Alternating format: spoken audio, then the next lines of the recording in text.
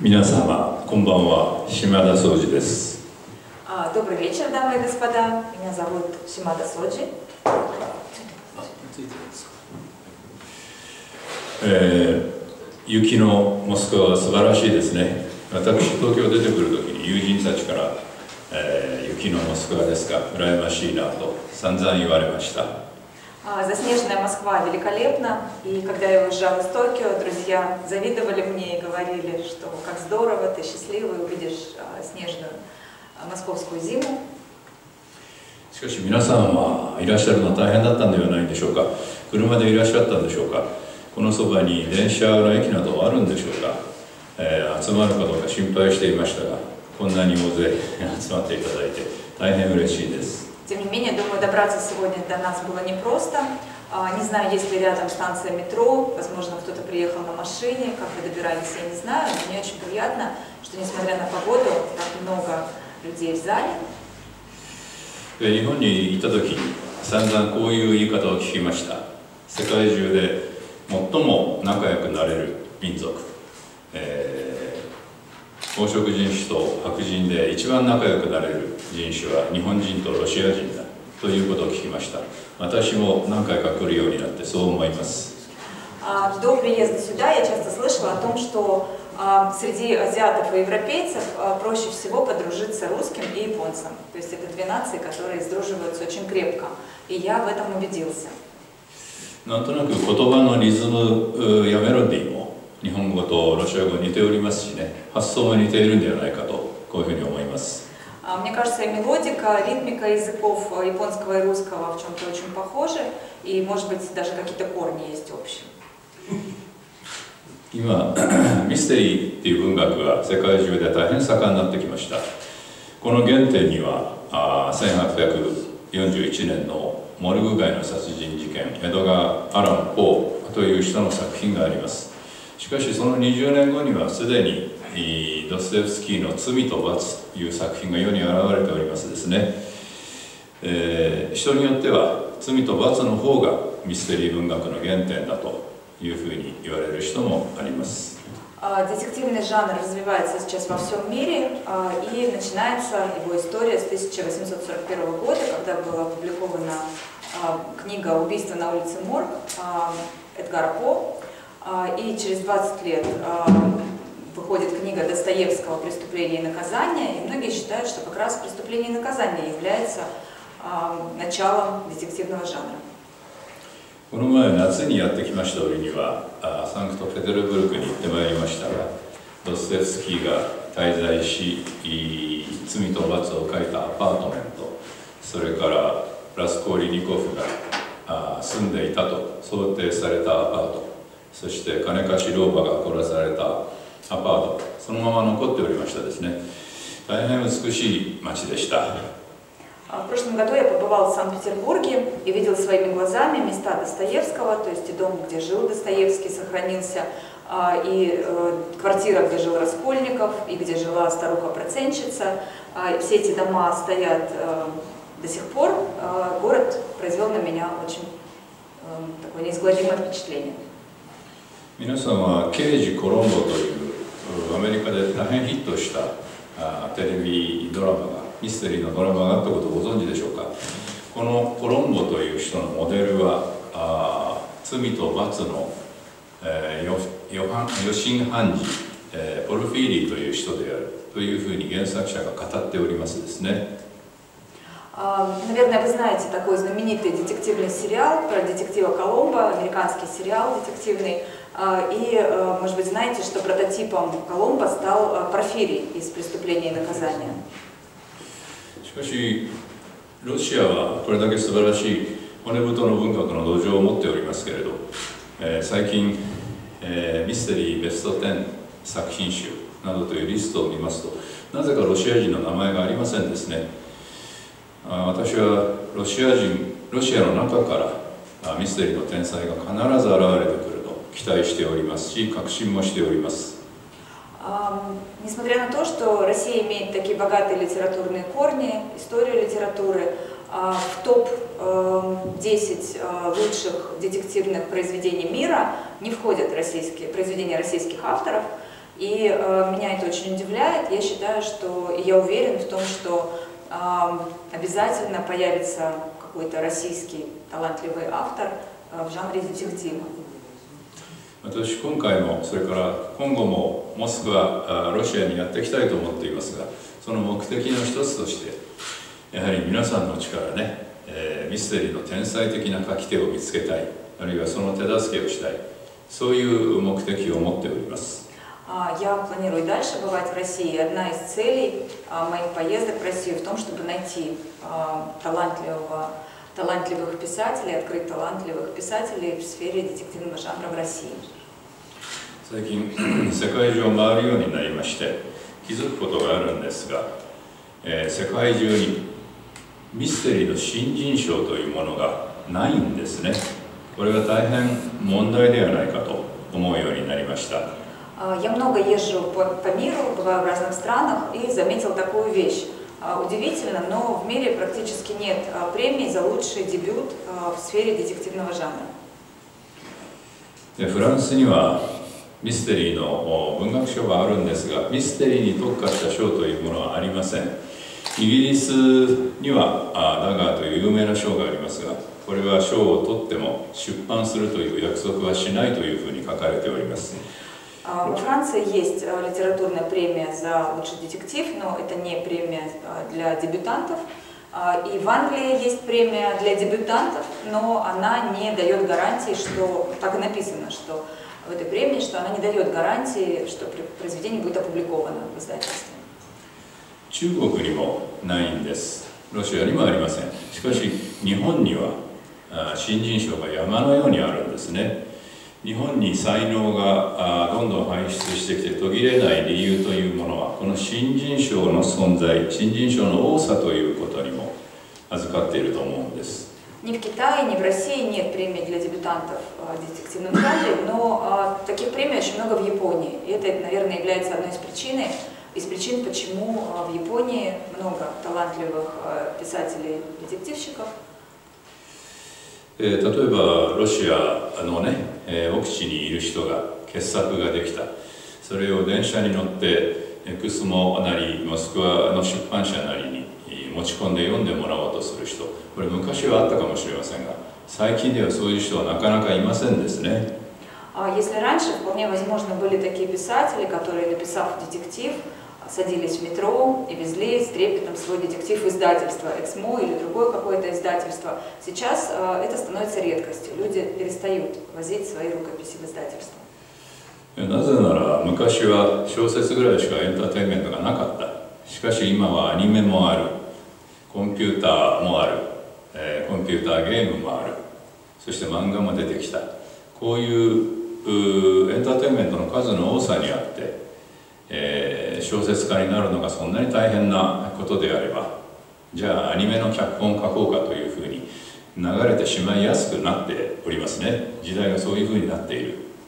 Возможно, это связано с тем, что раньше, в принципе, было не так много развлечений, не такой большой был выбор, и люди писали книги. Сейчас для того, чтобы выразиться, не обязательно писать книгу, это сложный процесс, и люди предпочитают аниме, компьютерные игры, манго, проще нарисовать, например, манго. ではどうすればいいかこれは新人賞というものが存在してここに投稿すれば審査をしてくれる良い作品は小説にしてくれるこういうシステムがあるということがとても大事なんですね。И в этой связи очень важно, чтобы была такая система, когда существуют премии для лучших дебютантов, которые позволяют людям публиковать свои романы. でこういうことはやってくるたびにエクスモ社の人などに話していましたがそうすると昨日はね大変まあ嬉しいお話を聞くことができました。あまだ秘密だから言っちゃいけないのかもしれないがエクスモ社が協力をして、えー、その中心になる団体はどこか別の人あるいはネットになってくるのかもしれませんが新人賞を来年作ることを考えているというお話を聞きました。いよいよロシアのミステリーの幕開けが始まるのかなということを考えました В каждый свой приезд, разговаривая с издательством «Эксмо», я говорю о важности премии для, за лучший дебют в детективе. И, наконец, вчера я услышала очень радостную новость. Наверное, это пока еще конфиденциальная информация, даже не знаю, имели право делиться этой информацией. Но издательство «Эксмо» думает о том, чтобы запустить такую премию в следующем году. И, возможно, это будет не на площадке самого издательства, а на какой-то интернет-площадке происходить или как-то иначе. Но я думаю, что это в любом случае положит начало такому новому витку в развитии детектива в России. ドストエフスキーの国の皆さんは、きっと 本格ミステリーミステリーというものを書いてください。そのために、えー、今日はちょっとお話をしようと思います、えー、今日も質問が終わりかもしれないがそのあらゆる質問どういうものが重要か例えば本格ということはなぜ必要なのかそれから21世紀型本格という言葉も最近私は作りましたがこれがなぜ重要かこういったものは全てミステリーの歴史ミステリー少子の中にあるんですね。ですから今日はねまず最初としてミステリーの歴史アメリカイギリスアングロサクソンがまあ作り出したものですがこういうミステリーの少子について少しお話をしたいと思います。И сегодня, собственно, пишите детективы. Я надеюсь, что будет много новых детективов. Сегодня я хотела бы поговорить о, об истории детектива, о развитии детектива. Я думаю, что у вас наверняка есть много вопросов.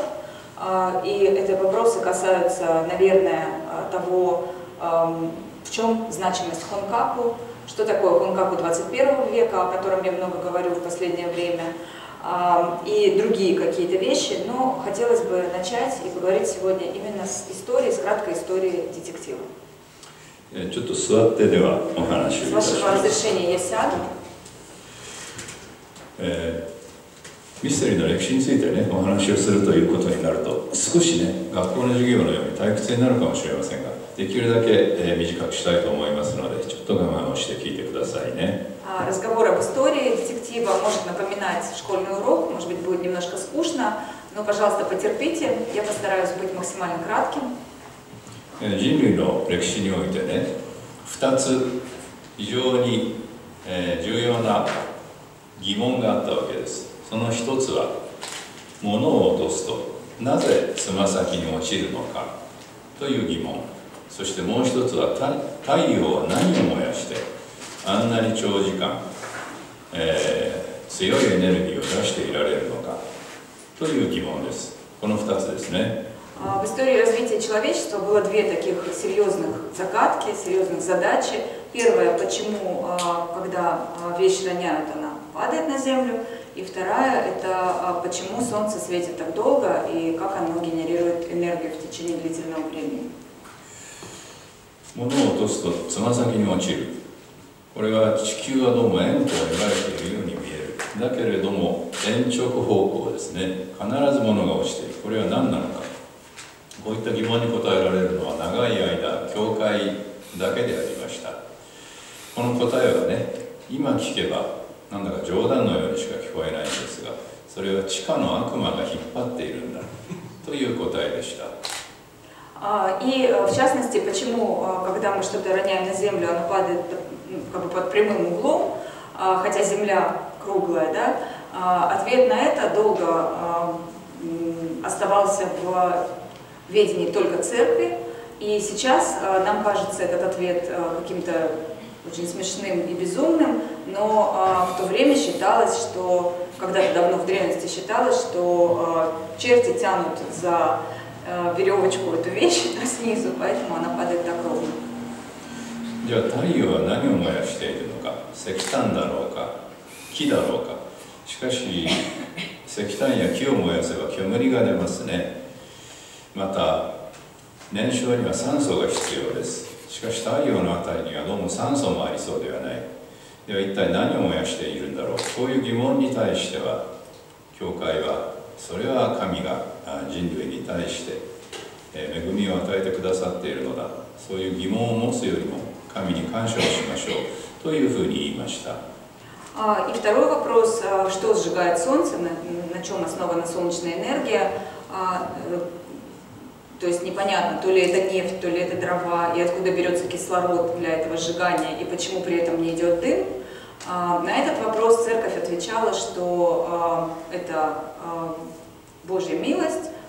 Бог дарит людям свет и солнце, тепло, и вместо того, чтобы разбираться в этом, давайте просто будем благодарны Ему за это. しかし太陽に関しては19世紀に入り唯一の答えが現れるんですねこれはしかも女性によってでしたキュリー夫人という人が、えー、核融合という考え方を提出しますこれによって回答が 得られたんですね И что касается солнечной энергии, в XIX веке Мария Кюри ответила на этот вопрос, женщина, ученый ответила на этот вопрос. この回答はその可能性が極めて高いとか蓋然性が強いとかそういったような問題ではなく議論の必要もないぐらい唯一無二の答えであったわけですね誰にも反論が思いつかなかったし 議論も起こらなかったわけです唯一無二の答えが科学者によってもたらされたんですね И этот ответ был настолько убедительным, что он не вызвал никаких дискуссий, не вызвал каких-то других мнений, он был очень очевиден. 重いものが落ちるのは万有引力の法則です。この考え方は16世紀にすでに現れていましたが、人口に解釈されていく、つまり大勢に認識されていくのはやはり19世紀 ということでした。万有引力という回答がここにも現れたわけですね。То, что вещь падает на Землю под силой тяжести, это было известно и в XVI веке, но распространение, это как общее знание, получило только в XIX веке. ここにおいて科学者という新しい市民と科学という新思想が世の中に現れてきたわけです。 Появилась да, в XIX веке появилась такая прослойка в обществе, как ученые. То есть это такая интеллектуальная прослойка общества. この科学者というものは、えー、先ほど申し上げましたように唯一無二の答えを、えー、鋭く提出するというほとんど神にも近いような存在に見えたわけですねこの科学者に対して人々の畏敬の念というものが 実は探偵というスーパースターのモデルになっていくわけです Эти ученые выглядели настолько для окружающих людей какими-то небожителями, то есть э, какими-то суперзвездами, э, такими моделями да, для подражания. 例えばイギリスにもまだいまだに根強いですがタタリとか怨霊とか幽霊とかそういった人を怖がらせる 超自然の現象があります。しかし、えー、殺人事件などに絡んだこういったものも少しも恐れず科学の論理性と冷静な知的な思考だけでもって挑んでいく。こういうありようが期待される新時代の新市民として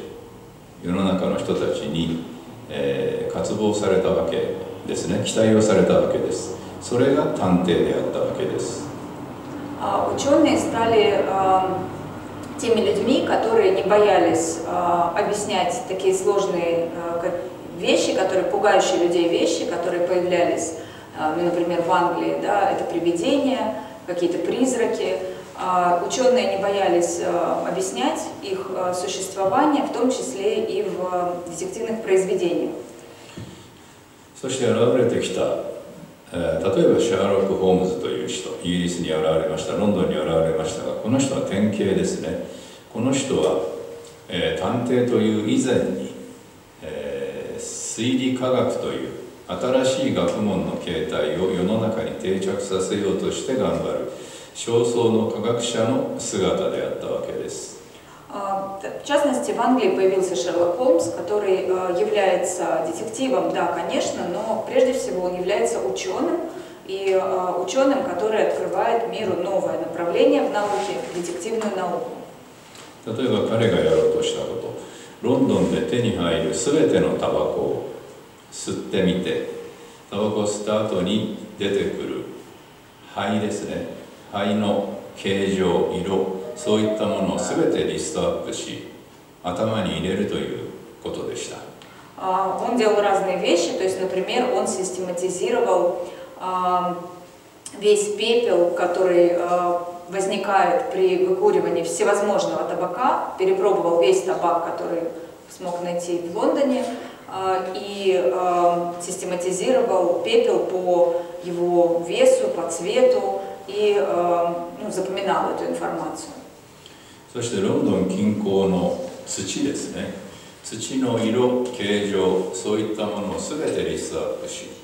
頭に入れるとそういうこともやりました А, И также он систематизировал все виды почв, которые можно найти в пригороде Лондона, а, тоже также по их массе или цвету, и а, тоже запоминал эту информацию. そうすると例えば一つの殺人現場があったとしますそこに人間の靴によって 現場に持ち込まれた土がありますそうするとこの土を分析することによって、えーこの被害者や多分殺したである人ロンドンのどの地方からどの方向からやってきたかそういうことが分かります А, Это позволяло ему а, понимать, а, если происходило какое-то убийство, а, он анализировал а, почву на э, обуви и мог понять, откуда, из какого района Лондона приехала жертва и возможный убийца. それから現場のそばの机と椅子のテーブルの上にね、えーた灰皿がありそこにタバコの吸い殻が残っていたとしますそこに現れている灰がどのようなタバコによるものかによってですねそのタバコの値段がわかるはずですそうするとその現場にいた 少なくとも犯人の可能性がある人物があーイギリスのどの階級つまりお金持ちであるか高いタバコを買っているお金持ちであるか安いタバコを吸っている労働階級であるかそういったことがわかるわけですね А, И также, если а, а, на месте преступления находился, например, какой-то стол а, с пепельницей, по окуркам, а, он по а, цене табака мог сориентироваться, к какому сословию, к какому уровню достатка принадлежал убийца, а, был ли это какой-то выходец из рабочих районов или богатый человек. ホームズの第1作目は「非色の研究」「黄色の研究」という作品ですがこれはワトソンとの出会いを描いた作品ですがこれは1リットルの水に1滴の血を垂らしても間違いなくえーその水に混じり込んでいる血を検出できるという新しい薬品を発見したと言って、えーホームズが頂点になっていました А, В первом произведении а, про Шерлока Холмса, например, а, говорится о специальном таком химикате, который позволял а, определить даже а, крошечную каплю крови в литре воды. この時代にロンドンにスコットランドヤードという警察が現れます この警察は科学を用いて、えー事件を解体する犯人を特定するのだというそういう宣言を行います А, И а, в это время а, Скотланд-Ярд в Лондоне, поли- полиция Скотланд-Ярд, а, также при помощи науки а, ищет преступников. それまでの警察官というのは、えー現場付近の怪しげな人たちの中から刑事が勘を働かせて引っ張ってきて 時には拷問をして自白をさせるそういう事件の解決の仕方をしていたスコットランドヤードは科学を用いて自白強要拷問による自白強要を行わないということを宣言します А, И, а, в частности, если до этого момента а, в Англии преступления расследовались таким образом, что просто хватали каких-то а, людей рядом с местом преступления и заставляли их признаться э, путем допроса, а, то а, Скотланд-Ярд уже использует науку. И как раз он заявляет о том, что а, при помощи науки, а не при помощи таких признаний, да, он выявляет преступников. しかし時には拷問も行われているかもしれないでそれを監視しするためにですね、えー科学の台頭によって社会の最高牽引者にのになった人民が陪審員として裁判に参加をし 警察が拷問をしてないということを確認するそういう役目を担うということになりましたもちろん陪審制裁判は以前からあったんですが陪審制裁判がこの時点から 大変重要になってきて体系化されていきます А, И тут суд присяжных тоже получает свое распространение, когда, а, может быть, суд присяжных был и раньше, но он не имел такого веса. А сейчас присяжные а, действительно убеждаются в том, что а, преступление а, является доказанным, а не а, просто кого-то схватили и а, объявили преступником. 世界で最初のミステリー小説と言われるモルグ街の殺人事件を読めばその傾向はあ明らかなんです殺人現場で警察官何を拾ったか微物ですねいわゆる昆虫のかけらとか 動物の毛人間の毛そういう微細なものを拾っています。それから、えー被害者の首に爪の跡がある。この爪はどういう形状でどのぐらいの位置関係でついているかこういうのを図示して示します。ということは読者に示しているんですね。警察官は特権回帰特権意識を捨ててこういう証拠品の類を、えー民主的に市民に開示示します。これは陪審制裁判のありようなんですねつまり物語の殺人というのは陪審制裁判に陪審員として出席する人民市民の心得をあー書いた小説というふうに言うこともできるんです А, И э, уже э, в первых э, детективах видно, что полиция начинает работать совсем по-другому. Она собирает улики. А, Это может быть какие-то какие обрывки, обломки, это могут быть волосы человеческие, шерсть животных. А, Если это следы ногтей, то расследуется, чьи это ногти, что это может быть за человек, который их оставил. А, И э, раскрывает эту информацию читателю, ну то есть публике. А, И э, вот в частности убийство на улице Морг э, как раз э, тоже является книгой, где это наглядно видно. つまり陪審制裁判がある国においては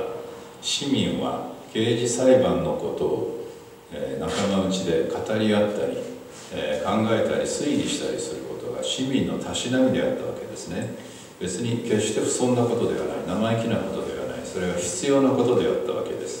ミステリー小説はそのガイダンスとあー手引き書として存在した傾向もあるんですミステリーというのはそのようにしてスタートするんですね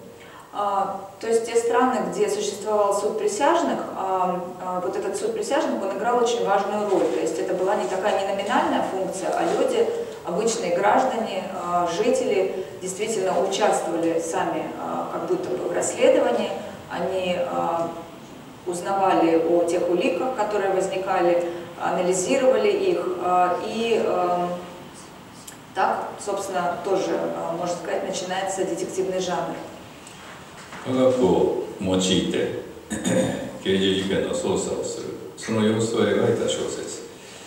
ミステリーはこのようにしてスタートしますがこれがミステリーの第一期ですね А, И можно назвать это первым этапом в развитии детектива, когда а, наука приходит на помощь а, а, тем, кто расследует, э, расследует убийство. И а, да, это первый этап. えーこういった小説あーアングロサクソンを中心にヨーロッパに生まれ落ちたたくさんのミステリー小説を2000冊も読んでそして自分の感覚から言うと こういう傾向こういう条件を網羅する小説ミステリーが最も面白いミステリーだという自分の意見を表明する作家が現れるんですアメリカにですねこれがバンダインです А, И тут появляется в Америке писатель, который, прочитав а, более двух тысяч таких а, детективных произведений,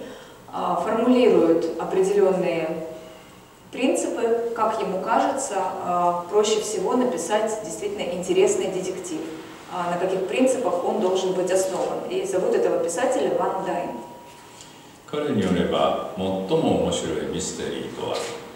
舞台を狭くとりできたならあ怪しげな館の内部に限定しそこに怪しげな住人たちが暮らしており彼らのプロファイルバックグラウンドですねそういったものは早い段階で読者に開示をする А, И э, согласно Ван Дайну, а, наиболее интересный детектив получается, когда место преступления ограничено,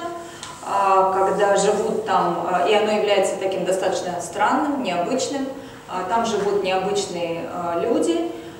и как можно на более раннем этапе читатель получает об этих людях информацию. そして怪しげな館の中で 密室殺人もしくはそれに類する不思議な殺人事件が起こる。しかし犯人は不明であるし時には動機もわからない。そして並行していると外から名探偵が招待をされてやってくる。彼が読者たちがすでに心得ている情報だけを用いて、え推理を行う。すなわちこれは読者との推理競争ということになりますですね。そうして最後に意外な犯人を指摘するこういった条件を提出したわけです И вот в этом странном месте происходит убийство, и откуда-то извне появляется следователь или детектив, который начинает расследовать это убийство, и он владеет всей той же информацией, которую владеет, э, которой владеет читатель. Поэтому следователь и читатель параллельно расследуют это убийство, и в конце какой-то приходит к неожиданной развязке. こういう条件を網羅したミステリーが一番面白いミステリーだということを彼は言ったわけですねつまりこの条件をできるだけ多く網羅することによって面白いミステリーは現れると彼は主張しました И вот таким образом Ван Дайн сформулировал вот эти принципы написания наиболее интересного детектива,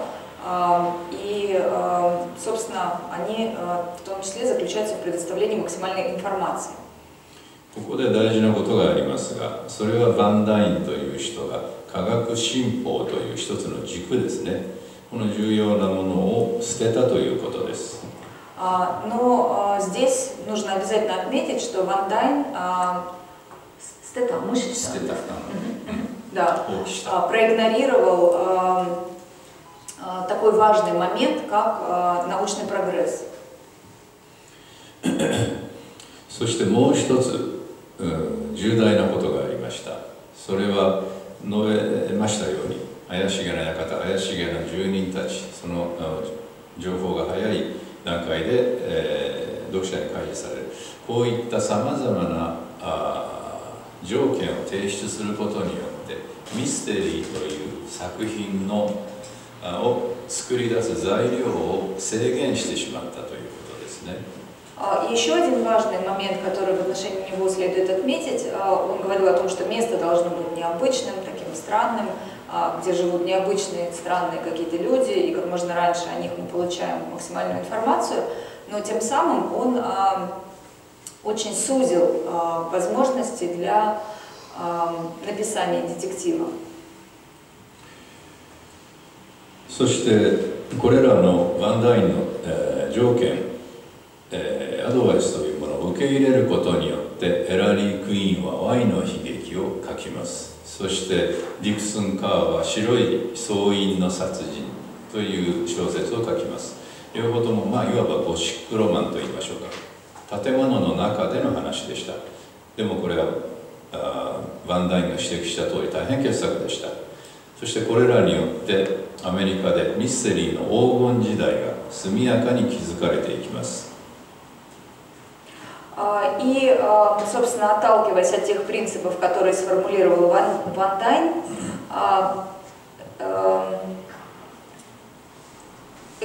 Эрли Квин, Эллари, простите, Квин и Диксон Карр написали свои произведения. Могу неправильно назвать название по-русски, извините, но в буквальном переводе как «Винная трагедия» звучит произведение Эллари Квина. И, ну, собственно, вот это второй этап развития детектива. しかし材料を絞られたわけですのでね速やかに黄金時代は築かれましたが その黄金時代を形成した作家たちに続く作家たちは彼らを乗り越えにくくなっていきます。第2世代第3世代第4世代と時代が下がっていくにつれて前人の功績を乗り越えがたくなっていきます。それは当然です。同じ材料しか使えないんですから。そうしたことによってミステリーは黄金時代の翌日から衰退の歴史を刻むということになってしまうんですね。А, Ну, как я уже сказал, а, было очень узкое пространство для написания этих детективов из-за вот этих сформулированных а, принципов. И поскольку писатели все пользовались, ну, как бы на одном поле, да, а, находились и писали, а, пользуясь одним и тем же материалом, а, не- детектив не мог развиваться дальше. えーこれこのようにしてミステリーというものは 速やかに黄金時代に駆け上がっていくのだが同時に衰退の歴史をたどりそこにハリウッドなんていうね、えーエンターテインメントの王様のような映画が登場することによってますます片隅に追いやられて今いわゆる謎解き日本でいう本格ミステリーは回転休業のようなありさまになってしまいました А, И здесь а, это происходит параллельно с развитием а, голливудского э, кинематографа, с развитием Голливуда, а, и детектив отодвигается на второй план. Здесь возникает уже такое направление, как фонкал. ミステリーはこれによってリアリズムの時代を迎えるんですねつまり、えー、実際に刑事警察官が現実的な方法によって事件の捜査をし犯人を捕まえていくそういう、えー犯罪捜査の小説があー謎解き小説に代わって分断の主流になっていきます А, И а, возникает а, период реализма в развитии детектива, когда следователи а, а, расследуют а, детектив, а, уже пользуясь какими-то такими более реалистичными а, методами. アメリカにおいてだけは西部劇の歴史がありましたのでね拳銃の携帯を許された私立探偵が、えー拳銃やそれから格闘などによって犯人を追い詰めていくというハードボイルドが現れてきます。これは後にノワール小説にも受け継がれていきますがこういうことが現れますがやはりアメリカにおいてもイギリスにおいても警察官があー地道な調査を行いながら犯人を突き止め逮捕していくこういうリアルな小説が主流になってきます А, И а, основным направлением становится вот такое реалистичное расследование, когда полицейский, у которого есть а, пистолет, а, оружие, он преследует буквально по пятам преступника, а, и это называется, этот жанр а, крутой детектив или hardboil, А, и также а, сюда же можно отнести и а, жанр нуар. これがミステリーの第3期ですね自然主義のお探偵小説あー警察小説 И で вот すね такой реализм или натурализм а, является третьим а, этапом в развитии детектива. そして今世界中がこの第3期の時代を過ごしていますアメリカもイギリスも フランスもロシアもそして日本も松本清張という人が現れてそういう時代を過ごしました А Сейчас в мире как раз а, и происходит этот третий этап развития детективного жанра а, во всех странах, и в Америке, и в Англии, и во Франции, и в России, а, и а, в Японии. Это а, такой автор, как Мацумото Сейчо, можно отве- отметить его. А, Как раз а, все мы переживаем третий этап а, детективного жанра. しかし日本にだけはなぜか謎解き推理小説謎解きのミステリーというものが復活するんですね、えー自慢話みたいなことをしてもしょうがありませんがここにあるのかな？先生術殺人事件そして斜め屋敷の犯罪。で今度エクスモが出してくれるそうですが綾辻幸人さんっていう人の十角化の殺人。こういった小説によって少しリアリティというものから遠ざかり知的な謎解きのパズルといった小説が復活するんですそしてこの小説群は今アジアに広がりを見せています А, При этом интересно, что только в Японии а, возрождается снова а, жанр детектива, когда разгадывается загадка. То есть такой жанр пазл. А, Не хотелось бы, а, собственно, хвастаться, да, но вы видите, здесь а, стоят мои книги «Токийский зодиак» и «Дом кривых стен», они как раз относятся к этому жанру.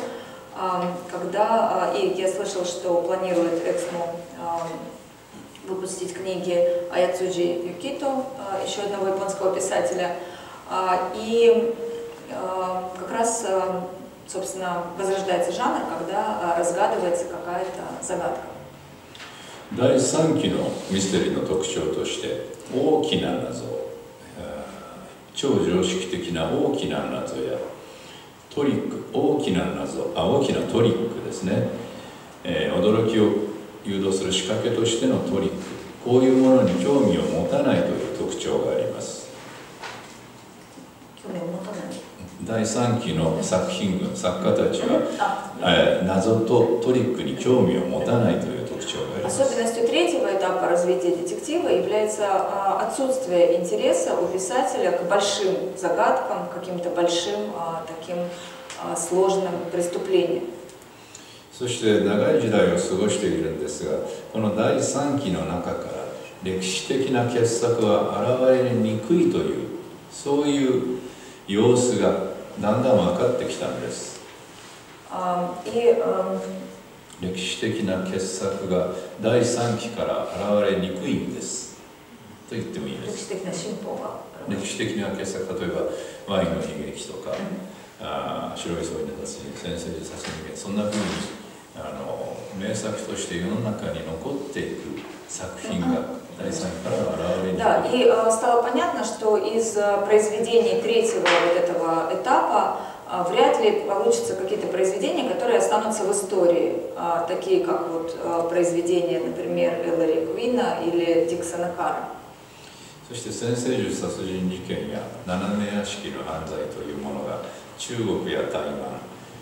あ、まあ、アジアにたくさん出ましたあインドネシアやあそれからベトナムやそういったところに出ましたそれからフランスでもイギリスでもロシアでも出てきます こういったことは多分あの第3期のリアリティの小説の流行の中にあって第4期、えー、謎解きのパズルそういった傾向のある小説が、えー、面白がられたということなのであろうと思います。В частности, мои книги «Токийский зодиак» и «Дом кривых стен» разошлись большими тиражами в Азии, в разных странах, и в Индонезии, и в Китае, и в во Вьетнаме, э, и в Европе, во Франции, в Англии, вот в России тоже. А, наверное, это говорит о том, что э, все-таки после вот этого третьего этапа реалистичного детектива э, люди захотели разгадывать загадку, читатели захотели разгадывать загадку и перейти снова к жанру пазла. 日本とロシアはこのミステリーの歴史の流れにあってほぼ無関係に 過ごしてきているんですね多くの作家がミステリーを書きますがこの流れとはちょっと違った形で歴史を刻んできたんです И Россия, и Япония развивались совершенно по-разному в детективном жанре, в принципе, независимо от вот тех этапов, о которых я говорил. このそれぞれについて特に私は日本の事情というものをよく知っていますのでね、 えー、この内訳を話をしてもいいんですがちょっと長くなってしまいますそしてロシアの人たちはこういうミステリーの少子小さな歴史というものに対してあまりあの知識が終わりではないと思うのでね一応お話をいたしました И, собственно, я хорошо себе представляю ситуацию в Японии, но если углубляться в детали, это будет очень долго. В России я, может быть, не до конца знаю да, ситуацию в, в детективном жанре. これからミステリーの歴史に関わりでこの中にいらっしゃる中にあいやここにいらっしゃる人の中にもいるかもしれませんミステリーの天才がいるかもしれないこれから小説を書こうとする人のために歴史が必要だと思って前提としてお話をいたしました Вот, но я рассказала то, что я знал, и я думаю, что, может быть, среди вас есть те, кто планирует, а, а, в ком скрывается талант детективный, а, кто планирует писать произведения в детективном жанре, поэтому посчитал, что для вас было бы полезно быть знакомыми с историей, познакомиться с историей детектива и, собственно, рассказал вам об этом. 日本の歴史についてもね、お話をしてもいいんです。質問が出なければ あまり続かないようだったらお話をしてもいいんですがちょっと時間もないようですのでここでね皆さんの質問を受け付けたいと思います А, Я мог бы еще рассказать об истории э, детектива в Японии непосредственно, но поскольку у нас времени очень мало, я хотел бы, наверное, перейти к вашим вопросам. 今のお話お聞きになってあるいはそれと無関係でも良いです創作上の問題でも良いですが何か質問がある方は подотелок этой Это могут быть вопросы по тому, о чем я рассказывал, или совершенно не относящиеся к сегодняшней теме, просто про детективы. А, пожалуйста, поднимайте руки, а, те, у кого есть вопросы, и задавайте их.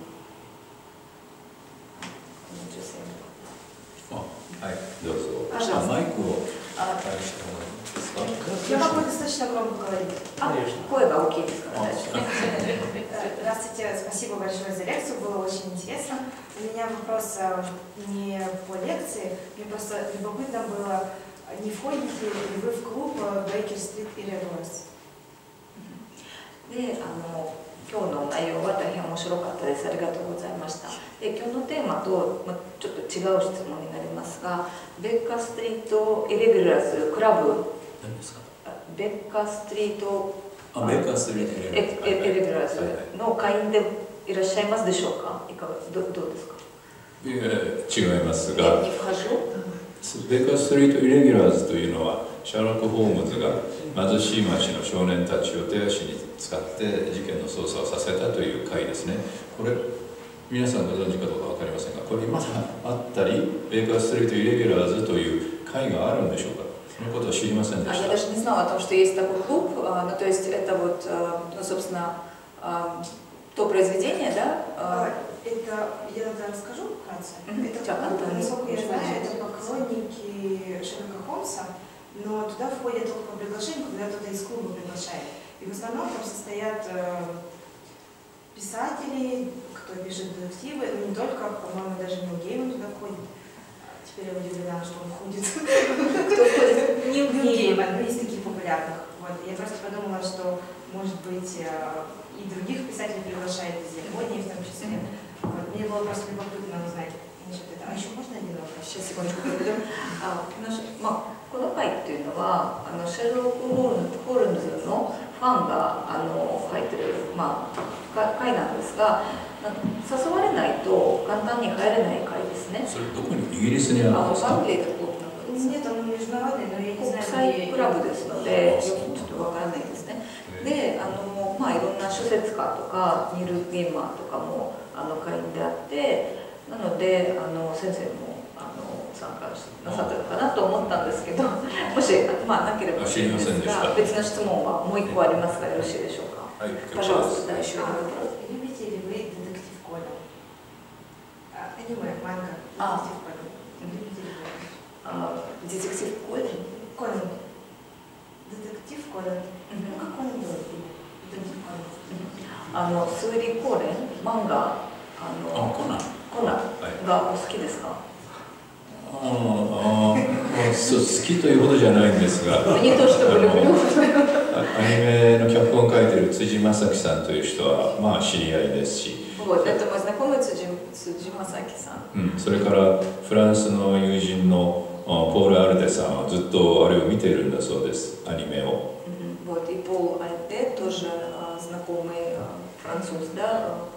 だから、まあ、たまたま体が空いてテレビをつけたらやってる。なんて時は見ますね。そしてそして映画でコナンのアニメの映画版がありました。京都を舞台にしたあコナンはなかなか高度な感心しましたあーだから好きというほどじゃないんですがあれば見ます Есть киноверсия, которая, ну, ос- а, как бы, она, м, съемки, да, а, местное действие происходит в Киото. А, Ну, в принципе, если есть время, да, я смотрю, но не могу сказать, что я вот прям люблю. あれロシアでも見られるんですか А в России тоже его показывают? Его не показывают.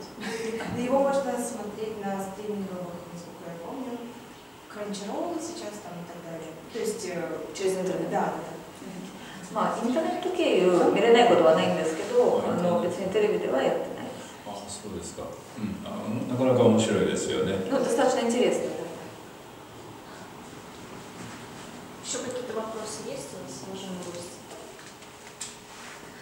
Добрый вечер. Спасибо большое за лекцию. Было очень интересно узнать краткую историю именно мистического детектива. Я читала а, ваши детективы, и мне интересно, ваш герой Митрай, он очень харизматичный,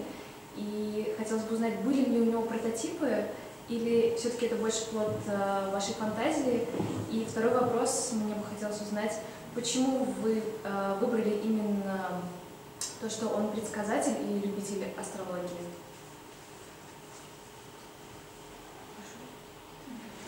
であの、まあ、今日はありがとうございました。とても、まあ、ミステリーの歴史は大変興味深かったですのでありがとうございます。とても役に立ちました。であとあの、まあ、先生の本私は読んだことがありますのでそれについてお聞きしたいと思います。あの御手洗さん本の中に出てくる主人公の御手洗さんですが、まあ、非常にカリスマの強い人であの、まあ、かかカリスマ？カリスマ。カリスマの強い人でであの誰か具体的な人物がいてその御手洗さんを、まあ、先生が作ったのかどうかのとあとなんで先生術がその御手洗さんが好きなのかなんでそういうことを先生が彼にやらせたのかをお聞きしたいです。うん見たらいに関してはですねモデルは特にはないんです私はあの、まあ、子供の頃はロシアの民話も読んできましたがロシアのものの中にはイメージはないかもしれないがイギリスのものをたくさん読みました、えーしあもうホームズももちろんそうですけれども例えば「サキ」っていう小説家それからジェローム・ケイ・ジェローム「ボートの三人男」を書いたユーモア小説の人です。こういった小説に大変強い影響を受けました。А, Что касается Митарая, у него не было конкретного прототипа, но, а, в принципе, я читал э, много и русской литературы, но, наверное, в русской литературе скорее нет, но а, в английской литературе, которую тоже я много читал, а, ну, собственно, я получил такой, ну, как сказать, сильно впечатлился английской литературой, в частности, это и Холмс, и а, Саки, и Джером, Папа Джером «Трое в лодке, не считая собаки». それから あのシャーロック・ホームズがとても好きでしたが同じようにビートルズという音楽が大変好きでした。この初期の頃のジョン・レノンの姿ですね。あのアリーを皮肉屋で、えーユーモラスで。しかし社会への抵抗心を持っている。そういうなかなか生意気だが頭がいい青年。そういったあイメージがとても好きでした。ビートルズの歌はね最初4小節聴けばもう誰が作りどんな時期に作りどの LP に入っており歌ってるのは誰であるかそんなことまですぐ言えました А, Мне очень нравился Шерлок Холмс а, и очень нравился Битлз. И, собственно, а, мне, ну, особенно вот ранний Битлз, очень нравился Джон Леннон, а, нравилась его ам, такая немножко а, ироничность а, и чувство юмора, и так, ну, что он вот такой естественный, и интеллектуал, а, молодой человек такой очень а, интересный. А, И я очень хорошо был знаком с творчеством Битлз, всегда знал все композиции, кто поет, кто там играет. ですから最近はねあんまりビートルズの曲を歌ったりすることはなくなりましたカラオケへ行くこともなくなりましたモスクワにはカラオケあるのかなあ В の последнее время не пою Битлз, а, не хожу в караоке, а есть ли вообще в Москве это караоке? あります。ありますか？でビートルズが歌える人がいたら今度一緒に行きましょう、あの初期でね2パートハーモニーでハモる曲「If I Fell」とか「I'll Be Back」とか「あえ、I'll Be Back」とか、え、忘れてしまった最近やはり離れたのそういうようなあ曲はですね下のパート覚えていますよいまだに。だからハモれると思います。Нижние партии таких песен, как If I Failed, uh, I Will Be Back и другие, даже не помню сейчас все названия, uh, я хорошо помню нижние партии, поэтому я думаю, что я смог бы и сейчас uh, их спеть. ポール・アルゼっていうフランス人も大好きらしくてね、だからあえて Поль ね Анка тоже мне очень нравится, французский исполнитель. ギターがあれば一緒にハモりますよ。 А если бы, конечно, была гитара, я бы да, с この前 удовольствием. 上上海でやらされました。 А в Шанхае тут мне пришлось это делать. まあ、ともかくですね недавно. そそのようなあ見たらいっていうのは総合体であろうともジョン・レノンとかさまざまなイギリスの物語に現れてくる皮肉屋とか、В общем-то, Митара это такой собирательный образ и Джона Леннона, и из каких-то многих персонажей английской литературы, таких ироничных. シャーロック・ホームズはモデルの教授がいたようですけれど 私はそういうのはなくて、えー、とにかく書いてみたら自然にあれが現れてきちゃったあごく自然に生まれ落ちてきたんですね Не было цели, чтобы он был, хотя его сравнивают с Шерлоком Холмсом, не было цели делать прототипом Шерлока Холмса, ну, то есть он каким-то естественным образом возник, когда я начал писать. それですからそういった好きなさまざまなキャラクターや小説の影響その総合体なんではないかなと思っています。 То есть мне кажется, что это собирательный образ моих любимых персонажей. そして先生術に関してはあまあ私が20代の頃先生術がだんだん盛んになり始めてみんながよく話題にするようになりました。Что касается астрологии, теперь вторая часть вашего вопроса, когда мне не было еще 30 лет, астрология очень вошла в моду и стала популярной. 例えばビートルズのポール・マッカートニーという人は双子座です。そして、えーコナン・ドイルっていう人も双子座ですこの人たち双子座の特徴をよく表しているんですねジョン・レノンは天秤座これはあのその星座の特徴をよく表しているように見えて説得力を感じたんですねそして興味を持ちました А, ну, то есть, например, Пол Маккартни, как и а, Конан Дойль, они близнецы по знаку зодиака. А Джон Леннон – весы. И они очень а, четко отражают те особенности, которые свойственны этим знакам зодиака. Меня это очень заинтересовало. しかしこれらは生まれた時に行動黄色い道と書くんですが空を見かけ上太陽や月や惑星が通る道ですね幅が16度の道を通るんですがそんな話もすると長くなってしまうからとにかくその中で、えー、 そうだな。その真っ暗な空にあるだけなんでメモリがないんです。そのメモリとして使ったのが天秤座や双子座や乙女座やそういう星座であったわけです。この星座行動上の10月に生まれた人は太陽が天秤座にあるんです。6月だったら太陽が双子座にあるんです。つまりそういう太陽の位置だけで話をしているんですね。双子座とか天秤っていうのは И, например, когда мы говорим о знаках зодиака, ну, то есть не хочется уходить, в, как бы это будет долго, да, если подробно говорить, вот, но когда мы говорим о знаках зодиака, в принципе, это положение Солнца, где находилось Солнце в момент рождения человека. То есть, если это близнецы, Солнце находилось, если это июнь, Солнце находилось в знаке близнецов, если это октябрь, Солнце находилось в знаке весов. だからポール・マッカートニーや あコナン・ドイルはよく双子座の性格を表していますが当たらない人も出ると思うんですね。これは、えー、出生点9図ホロスコープというものを書いてもっと厳密にやらなきゃダメなんですね。そして興味を持って独学で勉強をしてホロスコープを書いたり読んだりするそういう方法をあ学んだんです。そしたらとても面白くなって学問としてもかなり体系づけられているんです。そんなことからだんだん興味を持つようになった。そしてたまたまその時期に先生術殺人事件を思いついたので、うん、今にして思えば、はい、全て用意されていたような感じがしますだからたまたまそういう勉強をした時期だったんですね И, например, если Пол Маккартни и Конан Дойль хорошо соответствуют знакам зодиака своим близнецам, то есть люди, которые совершенно, может быть, и не соответствуют этим знакам зодиака, потому что гороскоп это более сложный такой процесс, то есть он составляется более подробно. Меня это очень заинтересовало, я стала изучать гороскопы, читать гороскопы, составлять гороскопы. И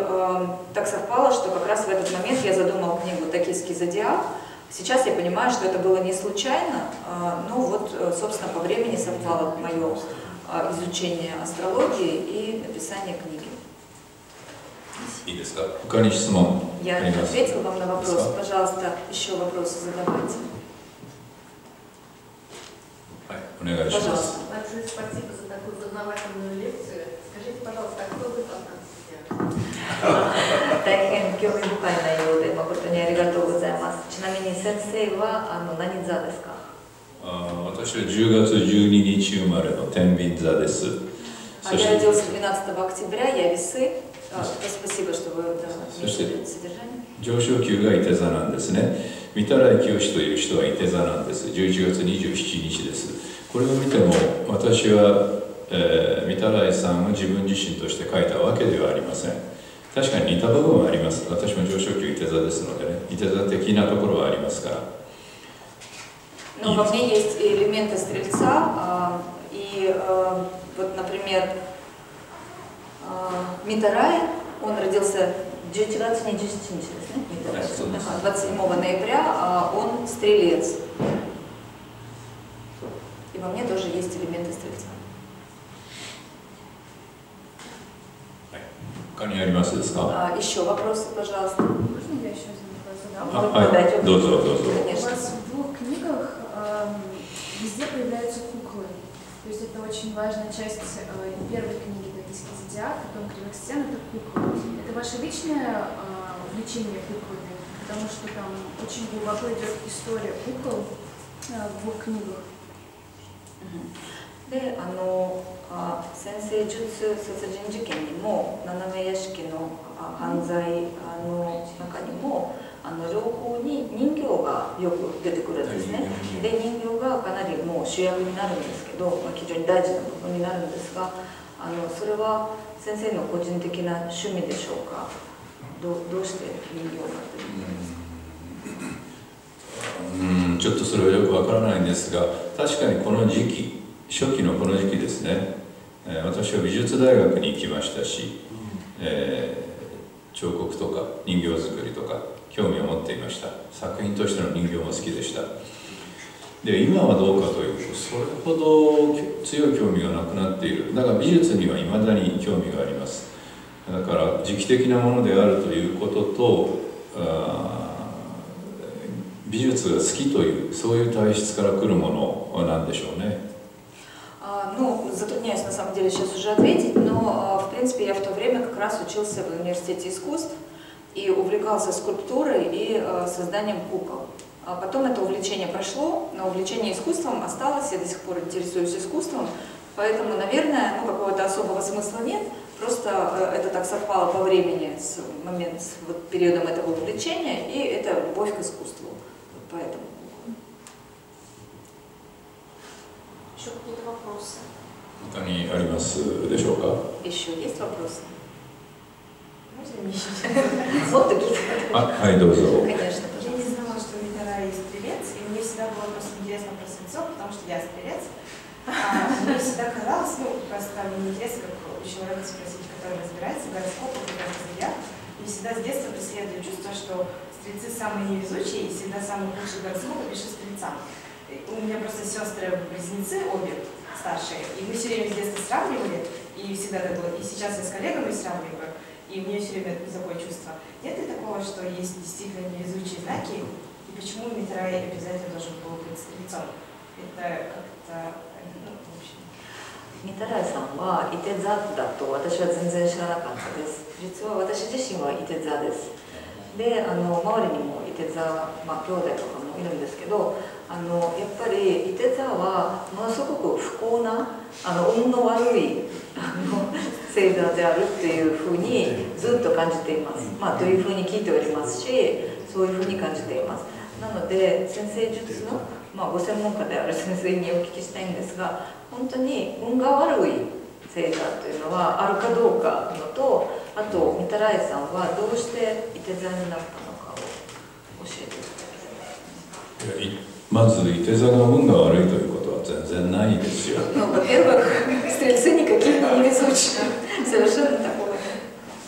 そのある星座で運が悪い星座っていうのがあったら大変です。Это して было бы э, печально, если бы были какие-то невезучие знаки. あの例えばさそり座はねあの暗い人が多いとか水商売に導かれるとかそんなふうな観点から運が悪いって言えばさそり座の方がそう言えるかもしれませんですね Ну, то есть, например, а, скорпионы, а, среди них много мрачных а, достаточно людей, которые часто идут по такой, а, как бы, как сказать, кривой дорожке. Вот. И, наверное, среди них скорее да, можно ну, встретить таких невезучих людей. У нас на работе не берут скорпионов. А? У нас на работе не, не берут скорпионов. 自分の職場がさそり座雇われないあ雇用されないのさそり座が運が悪いということもないですよ。 Вот, но при этом нет, я не говорю ни в коем случае, что э, скорпионы невезучие. うん、それはうん 説明すれば長くなっていくが、まあ、つまりですね一定あの運が悪いと言われるのはあのね、えー、ホロスコープあセンゼリウスの理屈から運が悪い人って言われるのはグランドクロスと言われる人。それはあのホロスコープを書くと大きな四角形がね現れる人です。こういう人はあ運が良くないと言われますね。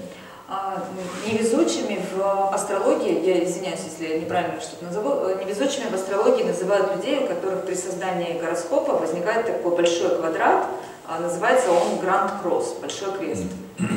で三角形が現れるのは幸運の大三角形といい運がいい人はあのあホロスコープだと言われます。 И считается, что те, у кого возникает треугольник а, в гороскопе, это счастливые люди. ちなみに私の妹はグランドクロスなんですよ。確かに引っ込み思案であまり運は良くないように思います。目立ったことが嫌いでね。でも最近あの夫と別れたりもしませんしね。ジャズピアノを弾くようになりました。決して不幸だとは思わないんですが確かに暗い印象はあります。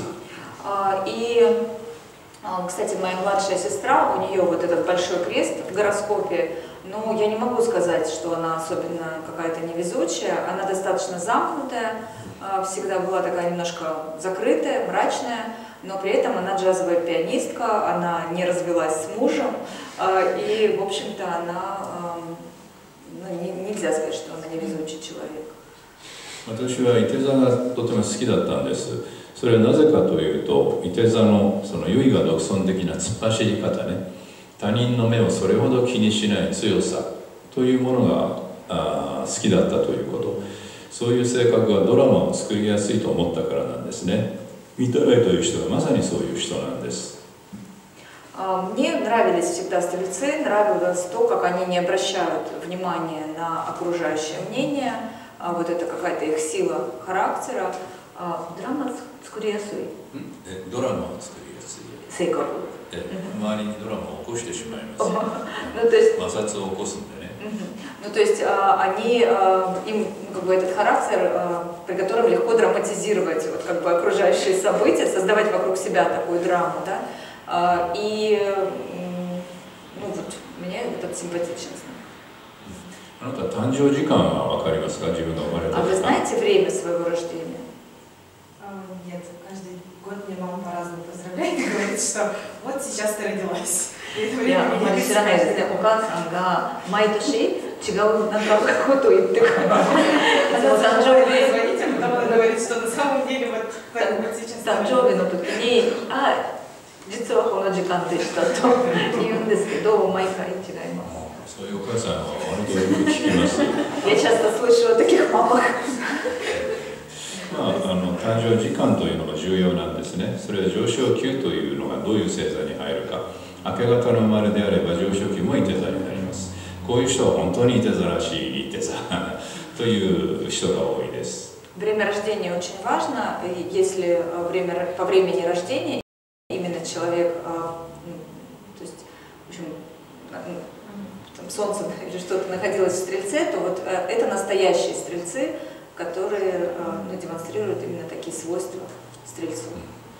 この中には小説をお書きになる、あるいは書いてやりたいと思う人はいらっしゃらないですか Есть ли среди вас те, кто э, пишет или хотел бы писать книги? あなた書くんですかあご自身でそれは素晴らしい。 Вы великолепны. Я сейчас учусь э, на писательских курсах и пишу первую прозу. 今、小説家の講座にも通っていて、 あのもう最初の小説を書いてる最中それはどんな恋愛小説だったりするんですかそれともミステリーですか Это любовная проза или это детектив? А, Сейчас я пишу в мистическом реализме, но думаю о том, что можно написать детектив. ミステリーリアリズムというジャンルで書いてるんですがでも推理小説も書けばいいんだろうなと思います ミステリーリアリズムミスティチスキリアリズムそれどう Магический. Магический. ママジックマジックリアリズムおおそれは興味深いな Это очень интересно あの Где-то в реализме. ああそうかそれはぜひ頑張っていただきたいで А, Желаю вам успеха あの自信がで自信作ができたら送ってくださいね Когда выйдет книга, пожалуйста, пришлите うん あなたちょっと写真撮らせてください Можно с вами 覚えてる сфотографироваться? Я хотела бы, чтобы запомнить вас うん、きっと作家になれるんじゃないかなと思う А, な Думаю, вы станете писательницей. 他に書き書く人いないで Еще すか кто? Есть такие, кто пишет? Ну, не детективы. А, 推理小説じゃないんですけど。あなたも Вы あ тоже? じゃあ質問よくくださる人は В общем, те, кто часто задают вопросы,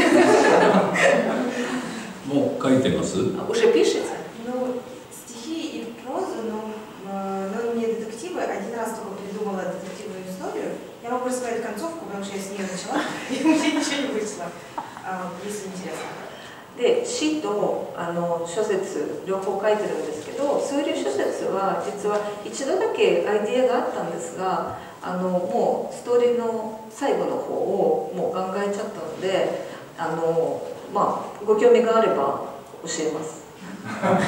その、まあ、ストーリーの解決解決の方だけ最後の方だけちょっとうんあの何が起こるんですかその小説の А что там 中で происходит в этом произведении, в самом произведении? Да, ну вот суть просто. Я э, вот вокруг нее не смогла ничего придумать. Какая суть осталась. А, Что девушка умерла в студенческом общежитии, а, и все думают, что это был суицид. А на самом деле, ну, она выпрыгнула в окно. На самом деле а, кто-то пытался проникнуть в комнату, и она страха выпрыгнула. И как бы я хотела так написать, что как будто бы у нее была депрессия, все подозревали, что она такая одинокая и там, и так далее. А на самом деле это был розыгрыш, ее соседи напугали,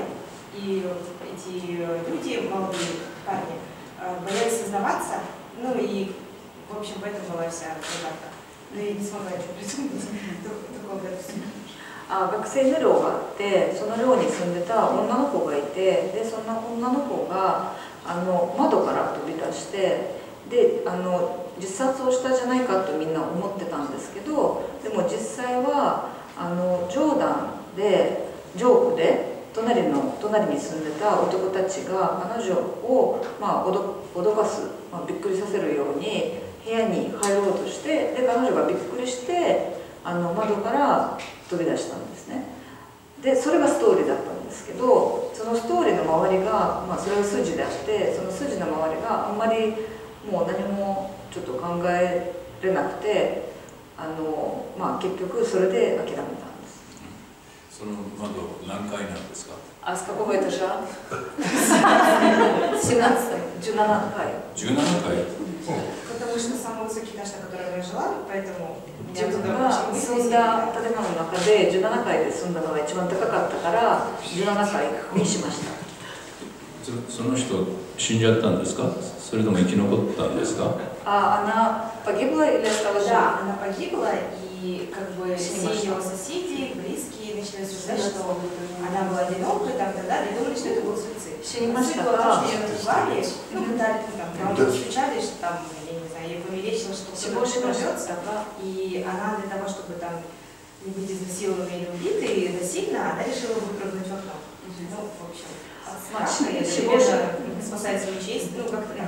死亡しましたがで周りの人が彼女が死んだらああやっぱりあの子が、まあ、あの独身だったしうつ病だったじゃないかで自殺だったじゃないかってみんな言い出したんですけどでも実際は彼女が部屋に あの知らない男の子たちが入ると例えば殺されるとかレイプされるとかあのそれは嫌でしたので窓から飛び込んだ方がまだまま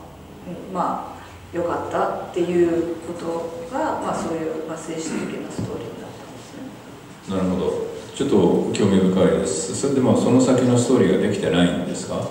Интересно, но получается развитие, ну как бы дальнейшего... Не получилось. Нет, имеется в виду дальнейшее, дальнейшее развитие сюжета там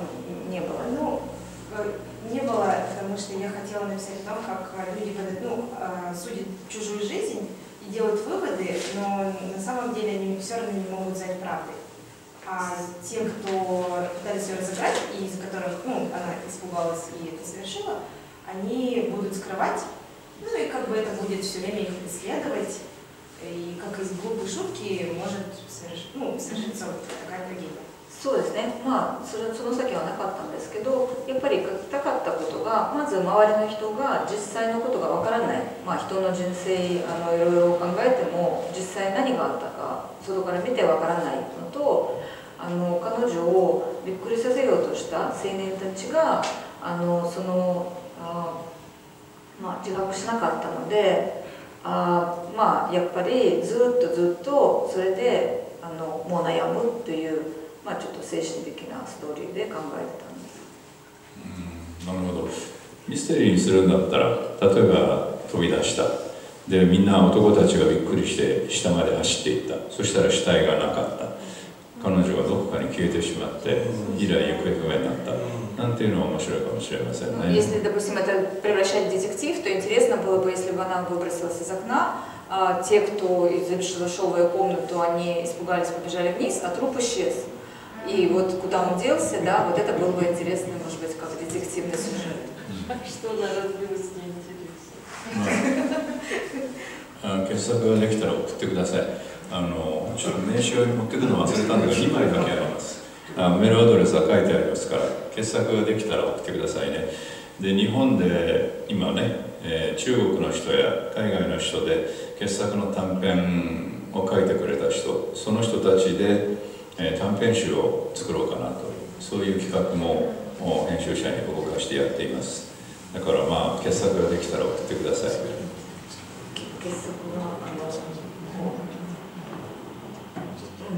Ну, в общем, если да, по- по- появится рукопись у вас, то пришлите. У меня, к сожалению, недостаточно сегодня визиток, только две визитки. Но там есть мой имейл. Вот. И я э, как раз думаю о том, чтобы учредить какую-то премию за э, там, ну, рукопись, да, или за какой-то как, сюжет, за сюжет. Вот. Поэтому вполне возможно, если напишите такой сюжет, то Спасибо. まあ、必ず載せられるかどうかはわからないですけれどもこれは傑作だなと思うならば、えー発表する場を考えたいと思います。電子本だったら比較的楽にできますね。紙の本だったらあのメンバーに限りがありますんでね、えー十分いい作品でなければ落ちるということがあるかもしれません。とにかくロシアから才能を見つけたいですね。まあ傑作を頑張って書いて общепигласа. Да, ну то есть если это, а, ну, вы напишете какую-то как историю, да, сюжет, а, и вполне возможно, что она ну, будет ну, как, а, на таком конкурсе, да, с другими какими-то дебютантами окажется достаточно успешной. Ну, то есть в любом случае мне было бы интересно найти какие-то таланты в России, あのフェイスブックでアレクサンダー・ザブリアガーエフさんっていう20代のね学生さんと知り合ったんですでやはりこういう企画を今やってるんだって言ったらあの必ず書きますって言ってくれたんだけれど締め切りの時になって「できましたか?」って言って返事が来ないんですよ多分できなかったんだろうなと思いますだから今度短編集にはロシア人は乗らないんですよ Ну, то есть, а, если а, эта книга бумажная, это, конечно, сложно, но если в электронном виде, это достаточно быстро можно опубликовать. И я вот на Фейсбуке познакомилась с человеком, его зовут Александр Запрягаев, это студент, э, где-то 20-летний студент. Вот, и я а, рассказала о том, что мы планируем сделать такой сборник. Он сказал, что да, да, я обязательно напишу. А когда уже пришло время, я спросила, написал, он говорит, а он не ответил ничего. Вот, поэтому в этом году без российских авторов будет такой сбор. 他にありますか質 Еще 問 какие-то вопросы есть? Можно просто А,あВот молодой,男性 молодой человек. Добрый вечер. Э, Спасибо большое за интересные лекции, беседу. А, Если позволите, я немного отклонюсь от темы. Хотел спросить, писали ли вы когда-нибудь киносценарий? Если нет, то хотелось бы вам начать. ちょっとテーマとちょっとずれる今今でのテーマとちょっとずれるんですけどあ映画の台本シナリオをあの先生が書いたことがあるのかもしなかったのであれば書きた書こうと思っていますでしょうか趣味で書いたことはあります。だけどそれ実際に映画になったことはないですね。今1時間ものの連続ドラマをあの作ろうかっていう話がありましてね。その原作を書いてくれって言われています。これどうなるかまだわからないんですが、えー、ミステリーのドラマ女の人が主人公のね。これは何本か自分が脚本書いてみるのもいいかなと今思っているところです А Сейчас есть, а, собственно, проект, а, возможно, да, я буду писать, предлагаю писать сценарий для сериала а, с главным, женс- там женская роль, а, женский персонаж главным героем является, и, а, ну, вполне возможно, что я буду писать какие-то серии. あなた脚本を書くんですか А, а вы пишете, да? Нет, не пишите. Я.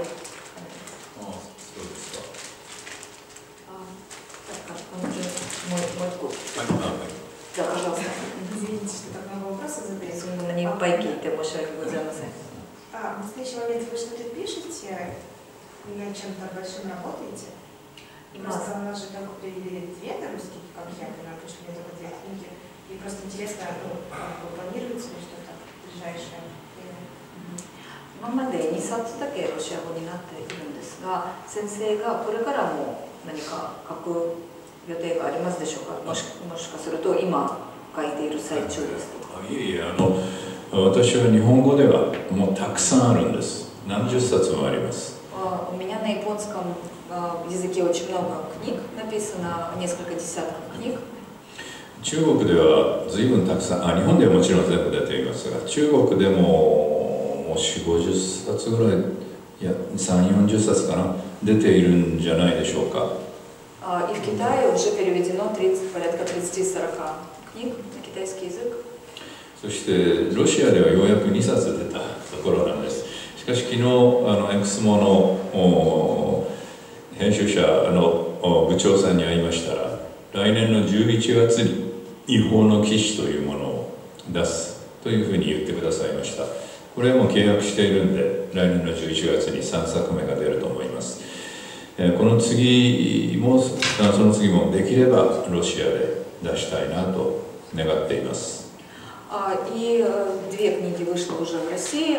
И вчера у меня были переговоры с издательством «Эксмо». А, Они сказали, что в ноябре 2020 года будет третье произведение, называется на японском языке «Ихоно Киши». И не знаю, как будет по-русски как называться. И ам, я надеюсь, что следующая, четвертая книга тоже будет в России. Одно из года, получается. つまり毎年2冊ずつぐらい。そこまでいかないんじゃないかな Ну, 毎 вряд ли 年 таких, э, там, 一冊毎年一冊ず наверное, つ по одной в год. もちろんたくさん売れれば2冊ということもあるかもしれませんけれどね Вот. Ну, если будет хорошо продаваться, то можно, можно и по две в год. しかしまあ私ロシアはとても好きなのでね これから機会があればたびたびやっていきたいそして、えー書きたいという人とこんなふうにお話ができればと思っています А, Но я Россию очень люблю и планирую дальше приезжать сюда. И мне, э, конечно, очень интересно знакомиться с людьми вот, пишущими.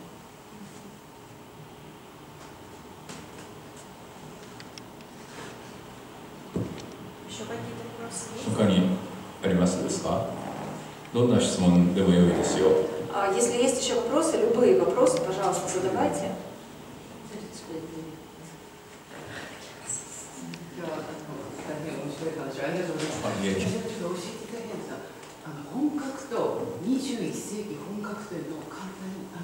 А, Большое спасибо за очень содержательную лекцию. А, Я хотела бы спросить очень кратко, чем отличается Хонкаку и Хонкаку 21 века. それは大変良い質問です Очень хороший вопрос そして重要な質問でもあります и очень важный. ただ簡単に言うのはとちょっと難しいんですけれどもね На него трудно ответить просто. あの先ほど、えーミステリーの歴史について述べました多くの疑問はこの歴史の中に大概入っているんだって言いましたこれがまさにそういう問題です先ほどの あのミステリーの小史の中で説明しましたね。科学とともに生まれ落ちたミステリーである。しかしバンダインは科学を捨てたんですね。И когда я рассказывал об истории, а, ну, собственно, я говорил о том, что а, в развитии детектива очень большую роль сыграло развитие науки. Но Ван Дайн а, отказался, он проигнорировал научный прогресс.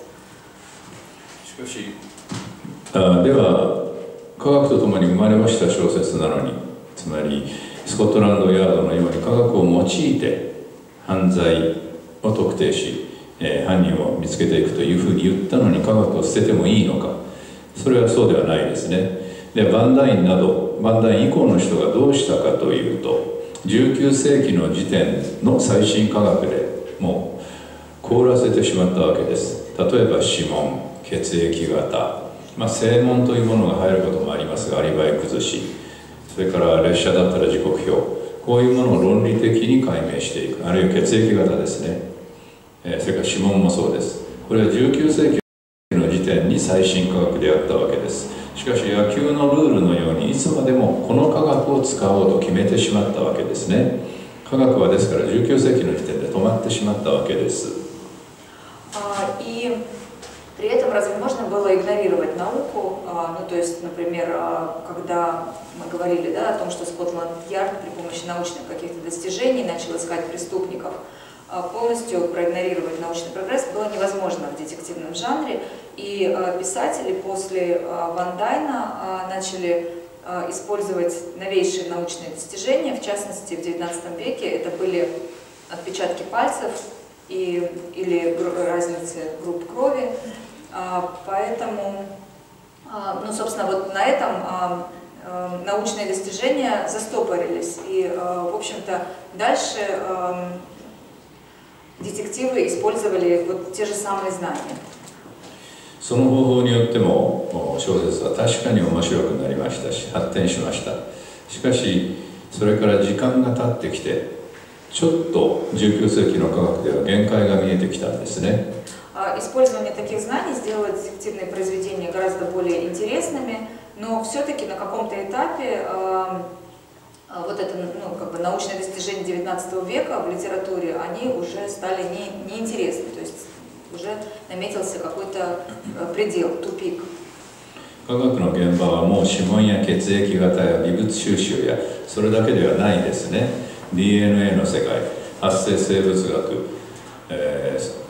さまざまなあー最新分野の発展を見ていますそして何より幽霊例えば幽霊というものはミステリーの興味の対象ですが幽霊とは何であるかもうほぼ突き止められたとも言えます А, И а, уже а, место преступления это не просто а, группа крови, отпечатки пальцев и улики. Уже появляются ДНК, а, микробиология и, например, призраки, которые всегда являлись таким объектом интереса для а, детективных произведений, а, практически полностью уже ну, наука разложила, а, что это такое, что, что собой представляет призрак. 例えば幽霊を女の子の3人連れが見たとします、えー遠くの森の中に幽霊を見たとします3人の女の子たちの3人ともが幽霊を見たのであれば 実際にそこに何かがいたのでしょうねしかし見た女の子が1人だけであるならばその女の子の脳の故障を疑う方が合理的ですこれは脳科学ですねこういうものも例えばあー科学の進化の成果としてあります А, Ну, то есть, например, если а, у нас представим, что есть три девушки, которые где-то в лесу увидели привидение, если они все три увидели это привидение, то значит действительно там что-то было в лесу. Если только одна из них увидела привидение, то это значит какие-то ее галлюцинации, что-то какие-то ну, что-то в мозгу. И, а, собственно, ну вот а, это тоже достижение нейробиологии, а, когда можно а, проанализировать, было ли это галлюцинацией или это было действительно каким-то визуальным эффектом. それからやはり19世紀に知られるようになった科学の考え方として原子というものがあります。幻の手足ですね。戦争によって例えば左手がなくなった。しかし眠っていても左手の指の先がかゆいとか左手シャワーを浴びると左手の皮膚を水滴が腐っていく様子とかそういうものがはっきりと体感できる。そういう現象のことですそして時としてその左手の幻が見えるんですこれが原子ですね А, Или, например, фантомные боли, да, которые тоже а, ну, вот, после 19 века начали а, исследовать, когда человек, например, на войне терял руку или ногу и при этом чувствовал во сне, как у него пальцы а, на руке там, болят. こういう21世紀の科学つまり 21世紀は科学は大変進んでおりミステリーの中に科学を取り入れるということを再びね思い出しても良いのではないか。そして21世紀の進んだ科学を取り入れてもミステリーとしてより面白いものができるんではないか。これが21世紀本格というものの考え方です。本格というものは何であるかさらに説明すれば良いんですが時間がないですね。はいなっていますのでね。あの Уважаемые читатели, наша библиотека закрывается через 15 минут. Просим подготовиться к выходу. Ждем вас завтра с 11 часов утра. 15分後に閉まるそうですじゃあ今日のお話はこのぐらいにいたしましょうか大変楽しかったですありがとうございました А, Итак, а, новая Хонкаку – это а, новый виток в развитии науки, когда наука в 21 веке сделала огромный рывок вперед, и, а, ну, собственно, нужно привносить новые научные достижения в детектив для того, чтобы он стал гораздо более интересным. Но поскольку нас уже объявляют, что через 15 минут библиотека закрывается, я предлагаю на этом остановиться а, и а,